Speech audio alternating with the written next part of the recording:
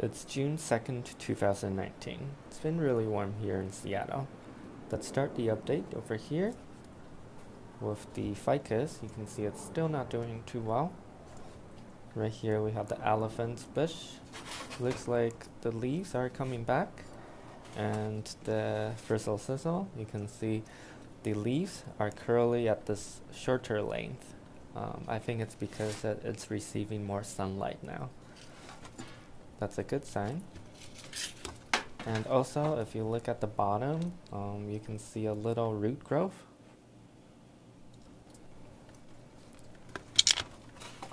And let's look at the grapes. Um, doesn't look like um, too much is going on. It's pretty much the same as last week.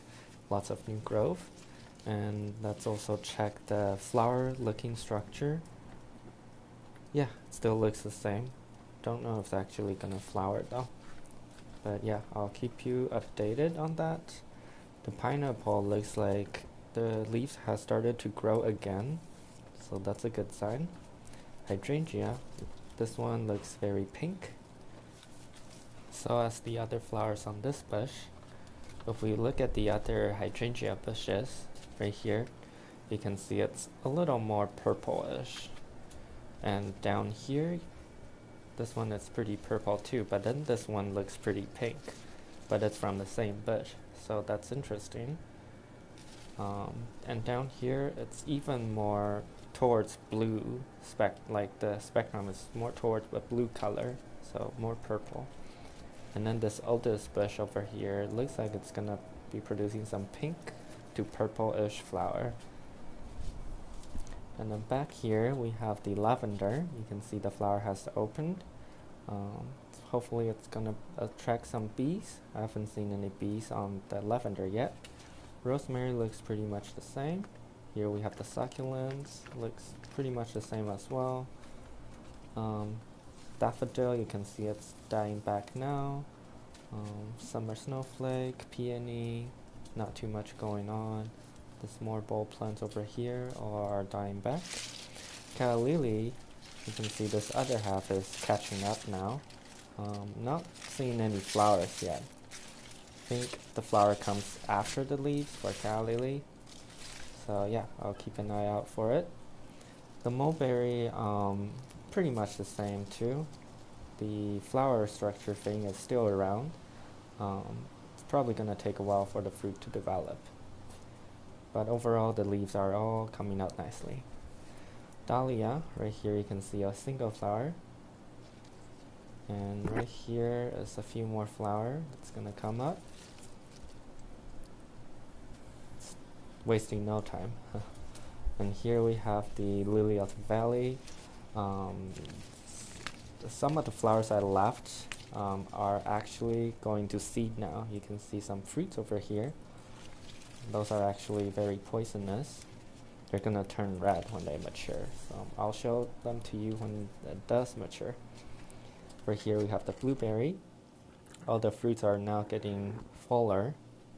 Down here you can see some bite marks from some sort of insects. Need to make sure it's not black vine weevil.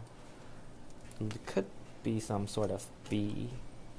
Forgot the name, but yeah. The hyacinth, grape hyacinth, you can see they're all dying back now.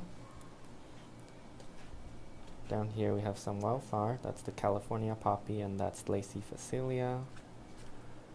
Here's more blueberry. This one actually, I think these guys are gonna turn into blueberries. And these are probably not. You can see the fruits are not very getting fuller. Here we have the strawberries. Right here you can see a strawberry fruit.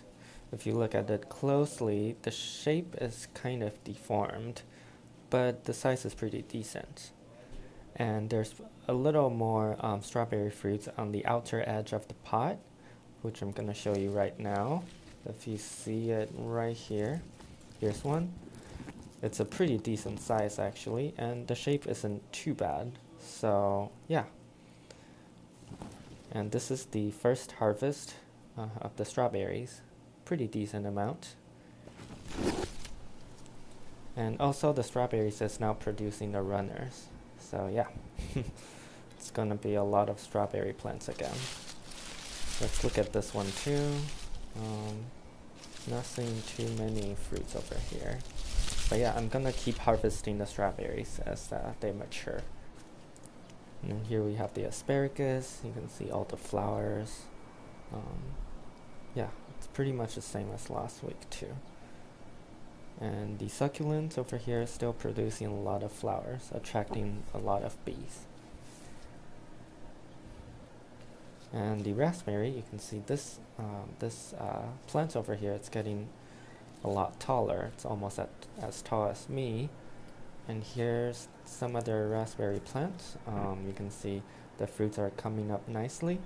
A lot of them are looking really full. So yeah, the raspberry harvest is going to be very bountiful.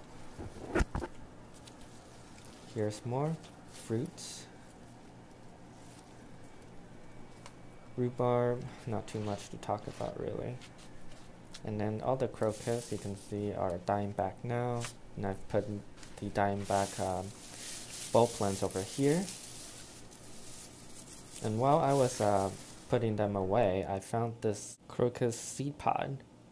Um, the quarter is a size reference, obviously. But yeah, you can see the seed pod contains probably five to six seeds. And yeah, I dried them and stored them away. Here we have the potatoes. Um, you can see the plants are a lot bigger now. Um, I contained them by this tomato cage so they don't go everywhere. I also cut off the flowers they're producing so to make sure uh, they focus all the energy on uh, potato formation. The artichoke, you can see the center stem is actually getting taller. So that means only one thing that's going to flower. And here you can see this tiniest artichoke. It's so tiny, I don't even know how to eat it. But at least I have an artichoke going. Here we have the tomato. You can see at the center of the plant some flowers forming already. It's wasting no time to flower, only even though it's still a tiny plant. And here I have the green onion I trans transplanted from indoor. Hopefully it's gonna get bigger. Some succulents. As for the indoor garden, um, right here it's the new succulent. Looks like it's adapting pretty well. Snake plant. And here we have the orchids. You can see right here this yellow uh, leaves are yellowing actually and that's because this branch over here is broken it was actually broken a long time ago and it has just uh, recently started to turn yellow which is interesting but nonetheless it's still sending out new growth and this is the other same same orchid. Right here we have the lady slipper orchid. You can see the new leaves coming up nicely. Down here we have a few more orchids, the mini oncidium, and this one, forgot the name, and then this other one, and this other one over here, you can see the roots coming up from the bottom, and then this over here is also producing a lot of new roots. This is the second mini oncidium. Over here we have the phalaenopsis. Um, I broke the stem again, Fortunately, it's above the, node that was uh, swelling. And also, you can see a lot more roots development on the Phalaenopsis. Here we have the staghorn fern, still producing a lot of new leaves, as you can see. Well, this one looks like it's gonna die. I don't know. It's not producing any new leaves, so that's a bad sign. This other orchid is doing well. Right here we have the Easter cactus. You can see it's still sending out lots of new leaves. Here we have the string of pearls. Um, it's actually still having aphid issue, so I washed it again. Hopefully, still, uh, hopefully they're gonna go away. Just more succulents over here, and this one over here, you can see this new plant is actually getting way bigger than the older plant. Here's some baby plants from the petal plants. Here we have the plants on water. And for the hanging plants, this Hoya plant over here, um, if you look closely, at this node, it's producing a new leaf and a new stem onto the right. And this other node is also producing some new leaves. Over here we have the spider plants, still, still sending out a lot of new flower spikes non-stop. Try to find a flower spike for you, but can't. Here's the prayer plant. Um, as you can see, it's producing some new leaves, and it's also producing a lot of new flowers over here. And lastly, we have the prayer plants that I propagated. You can see a lot of new roots coming out.